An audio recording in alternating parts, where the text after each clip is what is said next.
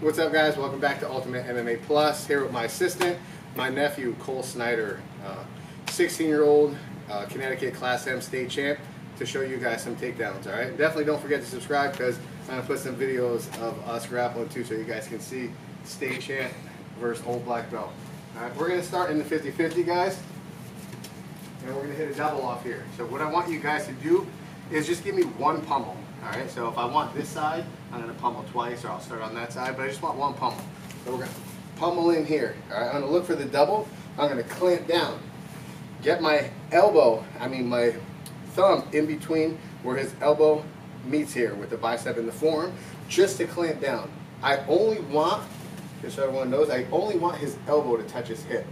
I don't need to arm drag, I don't need to all the way across. As long as his elbow touches his hip, then I'm good for a double. All right, so he's got a high underhook maybe, clamp, clamp, get inside. I'm gonna make his elbow touch his hip, and then I'm gonna drop in here, and then I'm just gonna run through him. So I get him on one foot here. If I wanna grab, I can grab, but I don't have to. I could just come in and take side control. All right, if you wanna get deep, you could also grab. So you guys are gonna start on 50-50. We're gonna pummel clamp, clamp, so I can get inside here.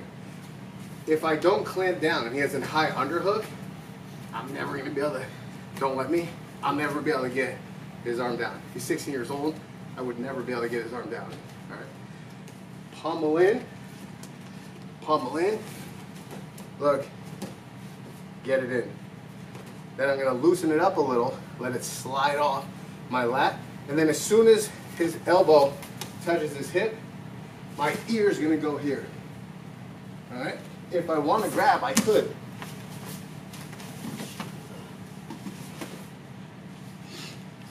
You don't have to grab. You can run the guy right over. All right? You don't need to grab. You can snake your arms and run, or you can grab.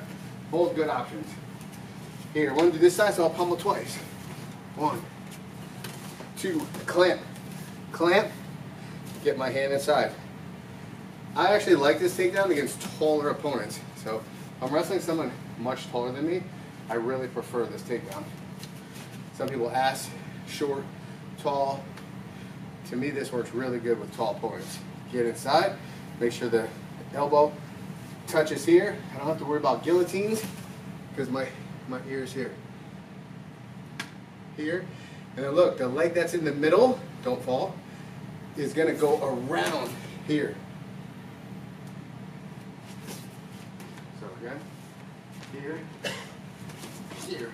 One, two, get it in. Here.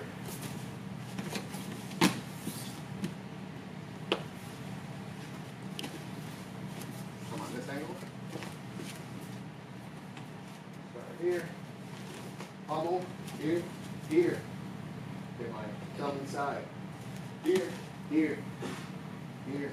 As I'm bringing him on one leg, step behind, start to take him down. Get on the side, step here. Clamp, clamp. Get thumb inside, pin this. This part of his hand will slide off your ribs, just a little. As soon as I feel a little slide, I can come. Here, Get him on one leg. Here. Go one leg. Here. Boom.